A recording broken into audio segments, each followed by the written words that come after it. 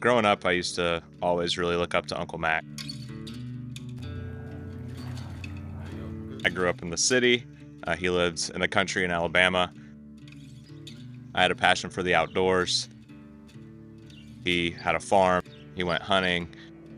He traveled the world to fish. All these things that I just thought were so cool. I just naturally gravitated towards, you know, anything that Mac did. fly fishing was one of those things that I took to.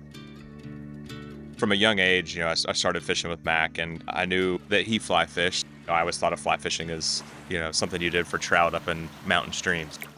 Or he- hearing his stories about going down to Florida to fly fish for tarpon, super intriguing to me. And obviously, Mac fly fished. I, I wanted to do it. Anything that Mac did, I wanted to do. You know, when I was about 10 or 11 years old, he, he gave me my first fly rod and you know, Mac really had a passion for teaching. That makes it go up, that makes it go down. That's what that Know, if you were willing to put in the time to learn, he was willing to to teach you how to do something. And so he gave me a fly rod with the intention of really teaching me how to do it. You know, I just learned so much about life and work and fishing and everything. I really wanted to be good. I wanted to be like Mac. As a kid, I used to go up and, and visit Uncle Mac for a week or two. And it's really funny. Out of all the big saltwater species that Mac likes to chase on a fly, he loved catching brim on the fly. I grew up in the city and I uh, didn't really know hard work. Yeah, the first time I did it, I thought I was just going up to hang out with Uncle Mac. Nope. he put me right to work. We'd work from sun up to sundown, and you'd think as a young kid who's done nothing but household chores that you know be miserable to, to jump in and work in the hot Alabama sun. And no, I just I loved every minute of it. Um, he kind of instilled that drive in me to to work hard, and best part about it is that he always put a reward at the end. He had this pond that was just loaded with brim and bass. You know, that's all I could think about for those three or four days of of working was just getting to fish that that pond at the end.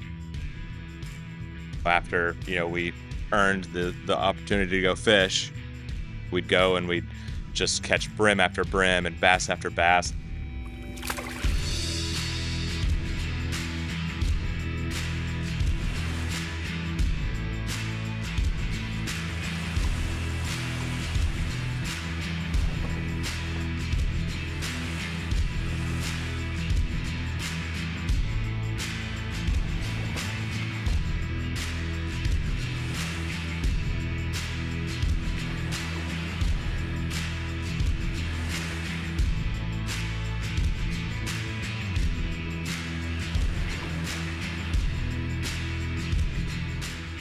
I just started to develop that, you know, work ethic in me to, to be able to work hard so that you can do the things that you're passionate about.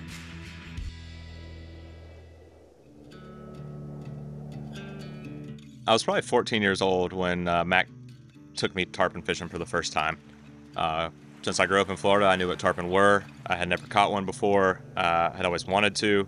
Um, and so when I went with Mac, even though I had started fly fishing a few years before, I was like, you know what? Let me just catch one on a spinning rod. I'll get my first one under my belt, and then I'll try and target one on a fly. And so, you know, first day we go out fishing. Mac was on the front of the boat with a fly rod. I was on the back with a spinning rod. We weren't there 30 minutes, and this tarpon just swims down the bar. And Mac casts to this fish. It just comes up and just boom, garbages the fly. And I just watch Mac get hooked up to this tarpon and jump jump this tarpon on a fly rod. And I'm just, you know, 14 years old, first time I'd ever seen this, like eyes this big around, like watching this from a bird's eye view from the poling platform. And it was the most incredible thing I'd ever seen in my life. Had the spinner out of my hand, and I just put it down. It's like, nope, I don't want to catch one on a spinner rod. I want to catch one on a fly rod. We fished for for four days and just I had missed shots. You tight? What? See where the fish were, couldn't read where the fish were going.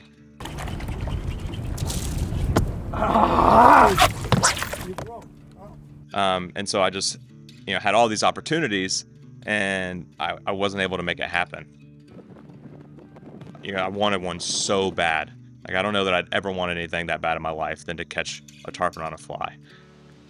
On the fifth day, we go out, and there's this high and happy fish just cruising down the bar, and I go up and I make the perfect cast, strip, strip, strip, and I just watch this tarpon come up and just dump truck my fly, and I just ah!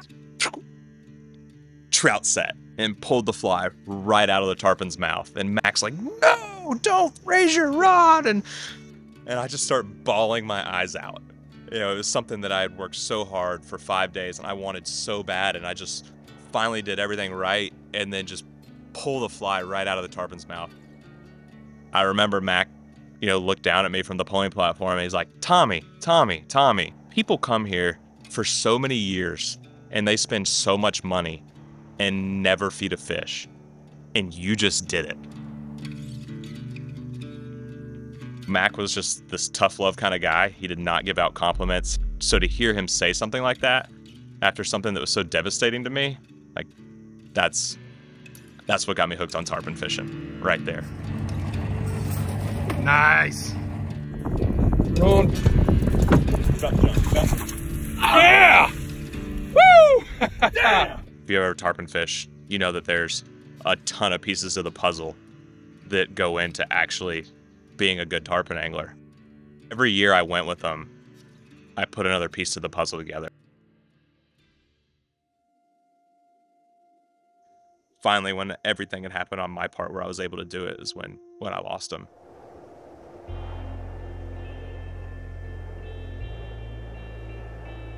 That's the hardest part of you know when Mac finally ended up losing his battle with cancer is like like no now I can fish with you you know now I can you know it, it, that was a part that seemed so unfair. It was like all these things that he had worked since I was a kid had finally come together to where you know we would have had a, a lot of great years of fishing together.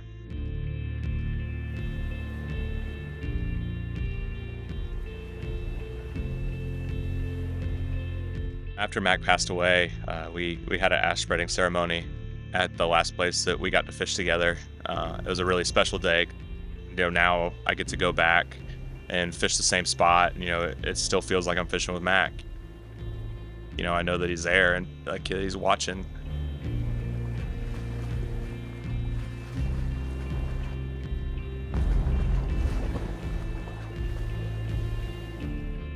About the same time met this really great group of guys that like to to fly fish. And i started you know getting clicked in with them and i got to share you know the the fly fishing for tarpon with them. You know now i get to go back fish on his boat the boat that i grew up fishing on with him and you know to still get to stand in the same places that we stood together.